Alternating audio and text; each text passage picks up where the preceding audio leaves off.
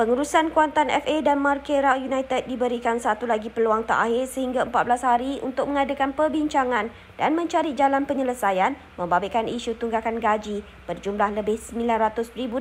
kepada bekas pemain dan pegawai mereka. Peringatan itu dikeluarkan peguam yang mewakili bekas pemain dan pegawai dua pasukan itu, Muhammad Suhail Rahimi Abdul Razak, yang menegaskan kes terbabit akan dipanjangkan ke Mahkamah Sivil sekiranya pihak yang bertanggungjawab terus berdegil dan tidak memberi sebarang maklum balas. Suhail berkata bekas pemain dan pegawai Kuantan FA serta Makera United mahu menyelesaikan isu itu dengan baik namun apa yang menduka citakan pengurusan terbabit hanya berdiam diri meskipun ia sudah berlanjutan sehingga lebih tiga tahun.